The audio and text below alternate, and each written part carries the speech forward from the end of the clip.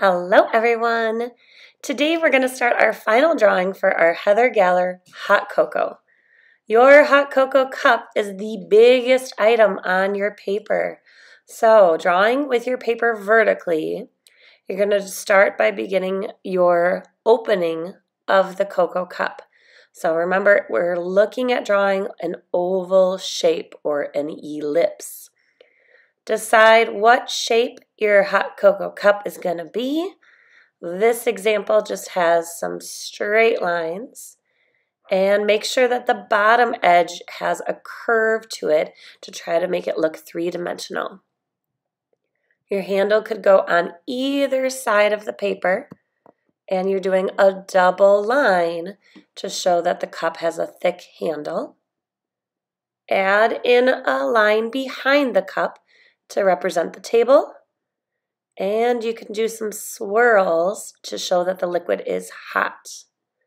One thing I forgot to do was draw the line to show the liquid is in the cup. So that would be another curve line. For this next part, you should make sure your name is on the back. And then you're going to get a placemat and a bingo dauber. These bingo daubers are filled with ink. And even though the bottle feels like you should squeeze it or squish it, you really don't want to do that. It's going to make the liquid come out too fast. It's a good idea to always test it just to make sure that the ink is primed and ready to come out. And you just are tracing your lines. It's like using a really thick marker. So just go slow, hold it gently, trace over all of your lines carefully. After your cup and the table line are traced, think about the patterns. Remember, Heather Galler's art had lots of designs. There's different designs for the table, for the wall, and for the cup. So you can just draw your design with the bingo dauber here I'm going to do a checkerboard like table. And then in the background, you just pick a shape and repeat it. So I'm picking a circle and then I'm adding a design onto my mug. All right, here's showing the next step. So with a different example, I'm going to be adding my first round of colors. I'm using these really big chunky oil pastels. The oil pastels are going to be used to help design your art. So we are not coloring in big spaces.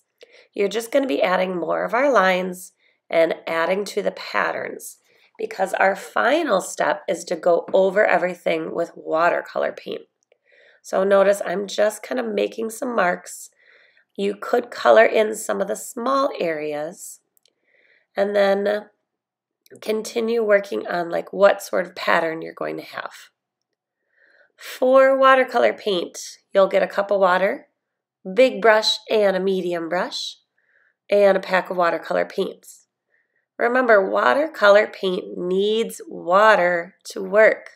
So I'm using my really big brush here, and I'm just going to start wetting the color I'm using first, which is the red. Then you kind of wiggle the brush in the paint to wake up the paint. Now you can brush right over your oil pastel because the paint is wet enough. If you skip this part and just start painting, it's going to cover up the colors. So it's really important that you use lots of water. Wash your brush as you go. Use bigger brush for bigger areas, smaller brush for smaller areas. And once everything is painted, you can put it on the rack to dry. Thanks so much for joining us. I can't wait to see how your hot cocoa mug turns out.